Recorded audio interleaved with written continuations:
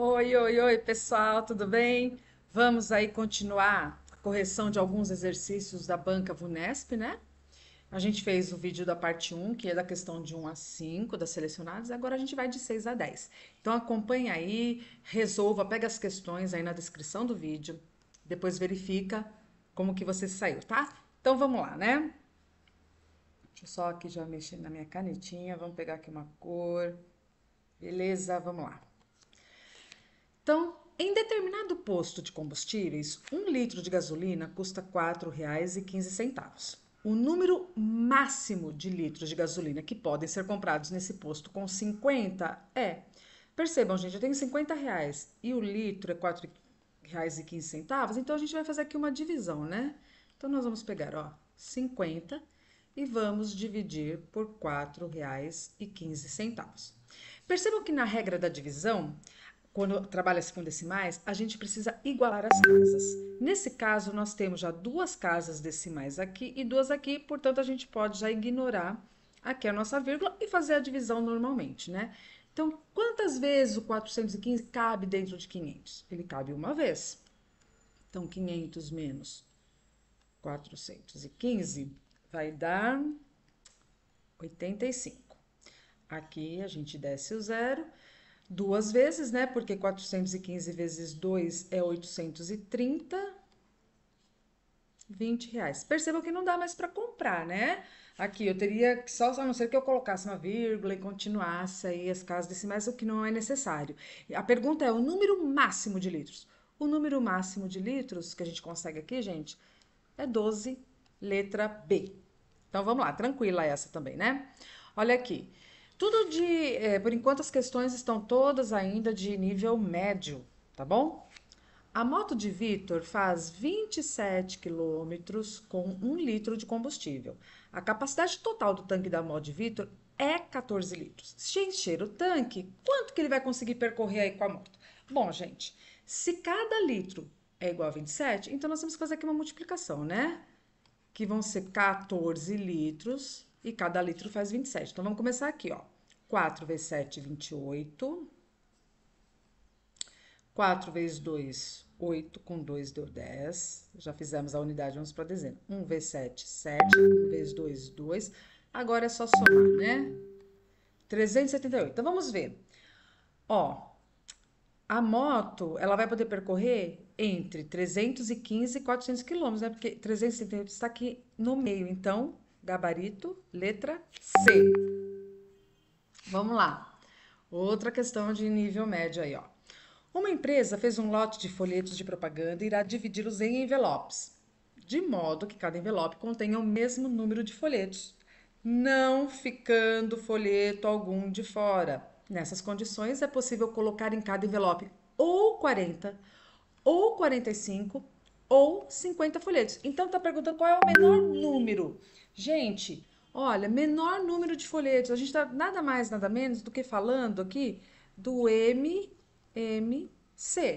Então, eu estou sabendo assim que a quantidade de folhetos que eu tenho vai zerar se eu colocar de 40 em 40, ou se eu colocar de 45 em 45, ou se eu colocar de 50 em 50. Então, como que a gente vai fazer? O MMC de 40, de 45 e de 50.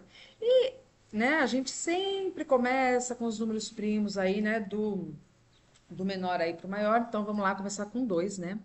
40 dividido por 2, 20. 45 não dá. Então, a gente repete. 50 dividido por 2, 25. Como eu tenho ainda aqui um número par, novamente por 2. 20 dividido por 2, 10. 45 não dá, 25 também não dá, mais uma vez o 2, porque nós temos aqui o 10, que é, então, 5, 45 e 25. Bom, agora a gente vai por 3, né? O 5 não dá, então a gente repete. Opa, fazer aqui. O 45 dividido por 3 dá 15. E o 25 permanece aqui, 25. Mais uma vez dá por 3, né? Então, vamos lá.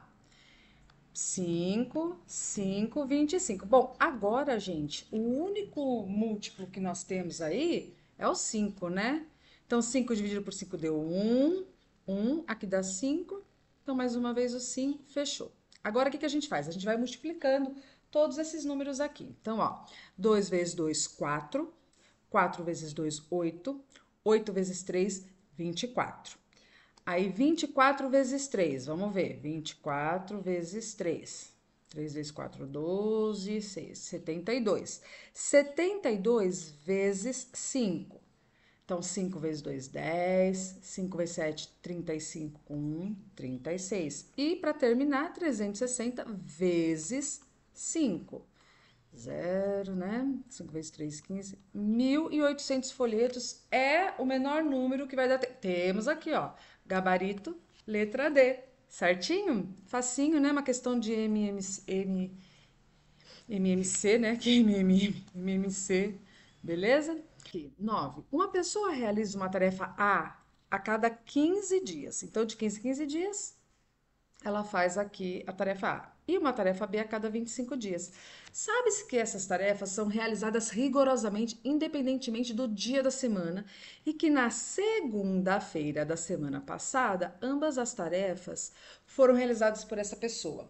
Tomando-se por base a referida segunda-feira, a vez imediatamente anterior a ela em que a referida pessoa realizou essas duas tarefas em um mesmo dia foi. Então, primeiro vamos ver de quantos em quantos dias essas duas tarefas se encontram. Então, a gente vai fazer aqui o MMC de 15 e de 25. Então, vamos lá, ó.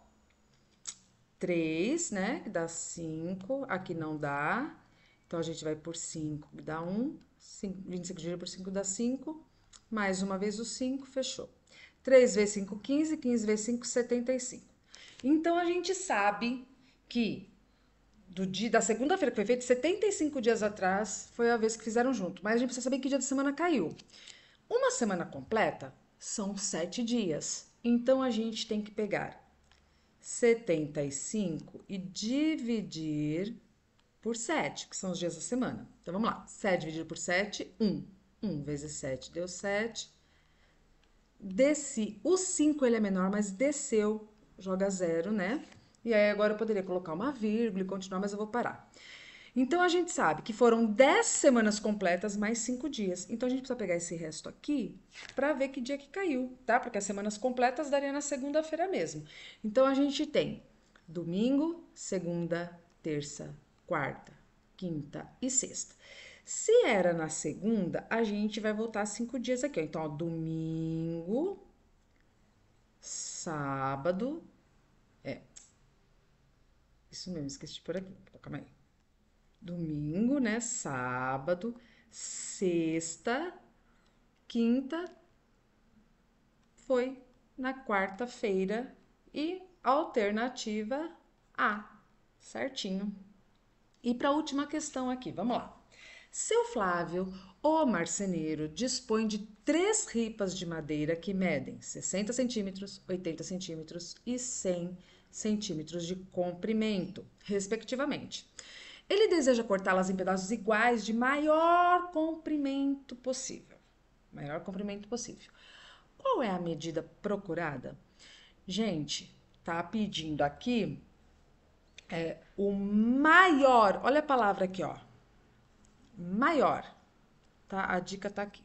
Se ele é o, o maior, a gente vai trabalhar não com MMC, né? Que trabalha o mínimo, mas vai trabalhar com o máximo divisor comum. E como que a gente faz isso, gente? É o mesmo processo do MMC, né? Então vamos lá, ó, 60, 80 e 100. A gente faz o mesmo processo aqui, ó, mesmo processo, tá?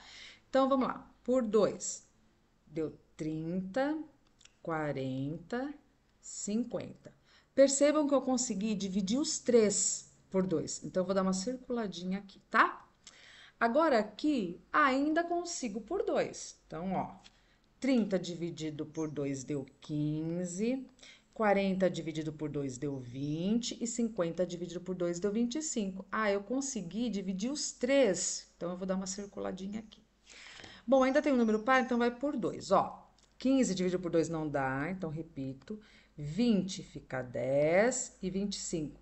Percebam que aqui só o 20 a gente conseguiu dividir, então eu não vou circular. Por 2 novamente, ficou 15 5 e 25. Também só o 10 que foi dividido, então não vou circular. Agora aqui por 3, ó, que dá 5. Aqui não dá para fazer nada nem aqui, então também não vou circular o 3. E agora é por 5, né? Então, ó, 5 dividido por 5, 1. 5 dividido por 5, 1. 25 dividido por 5. Opa, consegui dividir os 3. Então, vou dar uma circuladinha aqui. E por 5 de novo. Se fosse o MMC, nós iríamos é, multiplicar todos esses. Mas é o MDC, então a gente só pega aquele onde todos foram divisíveis, tá? Então, aqui a gente vai fazer, então, 2 vezes 2, 4. 4 vezes 5, 20. Então, a medida procurada que eles conseguem, o maior, né, o maior tamanho que eles conseguem fazer aí da madeira, é a alternativa D. Certinho? Até o próximo vídeo, pessoal!